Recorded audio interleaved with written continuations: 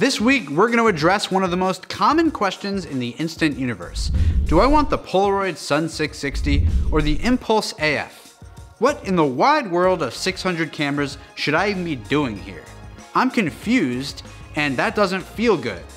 Well, first of all, calm down, and we're gonna talk it out. I got some information. Just be patient. The kind of photography that would become part of the human being. Press a button and have the picture. Welcome to In an Instant. My name is Ben, and this week we're gonna talk about two classic Polaroid cameras that put many people at a crossroads. Which to pick, the Sun 660 or the Impulse AF?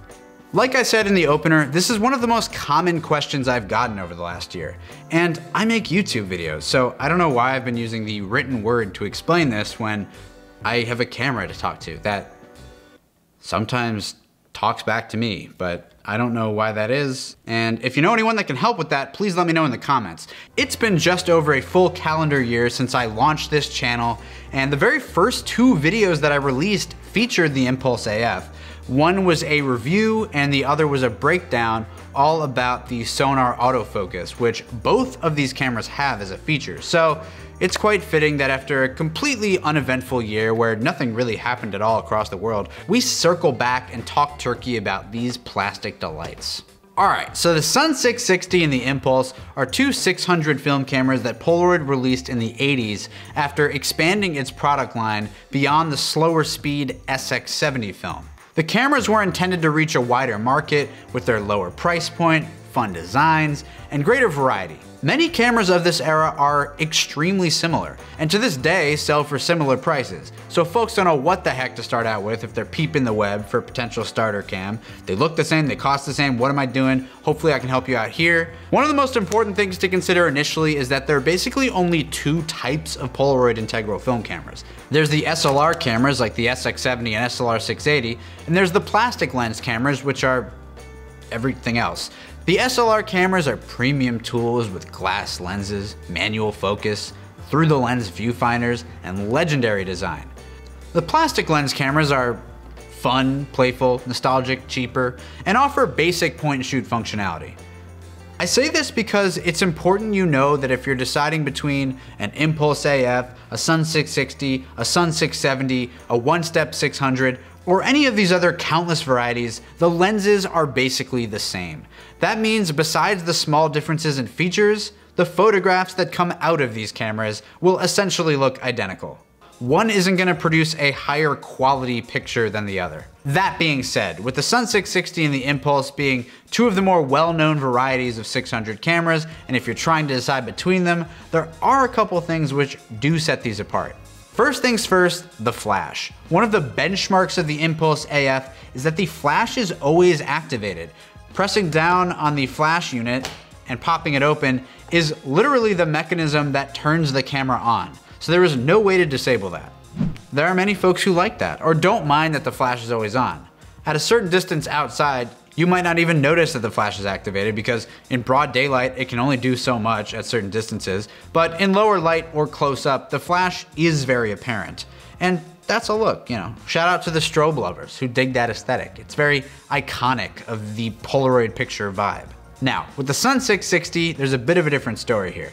This camera does have a large fold-out flash unit, which is part of its very iconic design, but it does have the ability to override that flash. Instead of a toggle switch like some later cameras, the shutter button has been cleverly segmented so that you can fire the flash with the outside button or take a photo without flash with the second trigger behind it. Boom, boom. It's a very interesting idea. And if you're not trying to commit to all flash, all day, all week, occupy Wall Street, this feature is by far the biggest difference between the 660 and the Impulse AF. So I'd say that's a pretty big tick in the advantage column for the Sun 660. But there is one more feature that distinguishes them, and that is the 10 second timer, which is only present in the Impulse AF. Both of them have tripod sockets on the bottom here, but it is only with the Impulse that you can actually set the camera up on the tripod, take a few steps over there, you know, smile a little bit, be serious, hit the dab. Basically decide the face you're gonna make and then boom, the sonar autofocus and the shutter trigger and there's your photo. In my opinion, having that timer is very clutch. And for some, it might make the Impulse more desirable than the 660. I'm just giving you the facts right here. Like, I'm not telling you which to get. It's all a matter of preference. You got the flash override, you got the timer. What's going on in your head right now, folks? What do you think? What do you like? Let me know what's going on in your head right now in the comments. The last thing that tends to go into the decision to buy a Polaroid camera is the aesthetic and practical design of the thing. And there's nothing wrong with that. You're investing in a cool accessory to go with your icy hypebeast streetwear fit, and you want a camera with the vibes to match. I'm sorry, okay. I think in this category, the Sun 660 has the more iconographic Polaroid design. Besides the vintage one steps, this is probably the camera body that is most closely associated with the nostalgic brand. However, this beautiful Blue Boy is a custom design, and the actual stock models are available in a pretty plain dark color. There is a gold one which was produced for Polaroid's 50th anniversary, which our boy Matty Ice is known to rock, and it is pretty sweet. But unless you go for a customized version, it's not really the most vibrant looking camera. Other Technicolor treats like the Cool Cam or the various other awesome special editions that a company like Retrospekt offers, salvages, and makes their own, these cameras, they're not autofocus models. If the autofocusing feature matters to you, the Sun 660 just isn't offering much to you on the color spectrum, but you could hit up someone like Upcycled Classics who does awesome mods, changes the faceplates, puts some sweet colors on there. Really happy with how this one came out. Uh, I got this one a couple years ago and they go in and out of stock, so keep an eye out for those. Upcycled Classics, shout out. The Impulse conversely does have a bunch of stock color varieties. Purple, blue, jade, what a color, are available for the autofocus models, while typically the cheaper options will be found in gray or black. At the very least, you got options. You may also find it wild and wacky that the camera has more of a binocular style ergonomic design you know, like we're birding, you know, checking out birds out here. And with a larger viewfinder than the 660 and a build that is more in the visual language of the Polaroid Spectra cameras, which were coming out around the same time, you know, you might dig that kind of design style better. It's definitely a different vibe. And lest we forget, this thing is a certified doinker. I don't think you could say the same about the 660. So if you're in the doinker squad, this one might be for you. I don't know. I'm, I'm having second guesses and I own both. So finally, in terms of cost, the 660 and the Impulse can be had for a range of 10 to 30 bucks. Really inexpensive and a great gateway drug if you're interested in just trying out Polaroid but aren't sure if you want to buy a newer I-type camera like the Polaroid now, which is very shiny looking because it's new, or you want to just go like balls to the wall, pardon my French, and buy an SX70 immediately and just live a life of instant crime.